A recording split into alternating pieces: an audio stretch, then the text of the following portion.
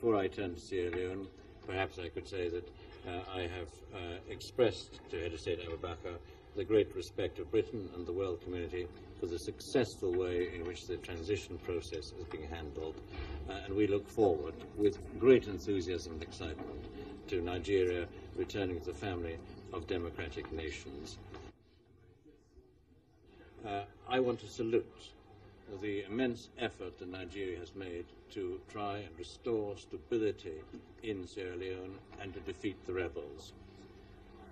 Um, Nigeria will really ensure that the facilities, the avenues being explored to get uh, to make peace in Sierra Leone are followed, and uh, Nigeria will not wake up on the 1st of June or 30th of May after the handover and say, okay, Nigerian troops come back home.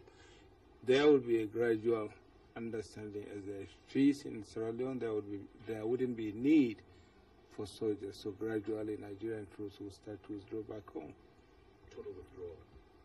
Well, that depends on how much we were able to broker the peace. Thank you for giving me the opportunity to say thank you very much publicly to both uh, Nigeria and uh, uh, the United Kingdom.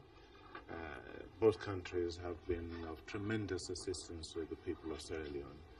And my people and I will eternally be grateful to both of them. Uh, they've come to our aid at a time that we need help, all the help we can get.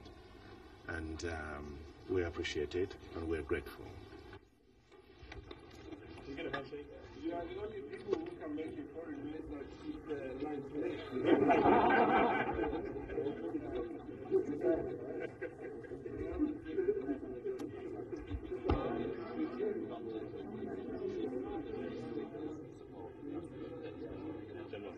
You are always at me again.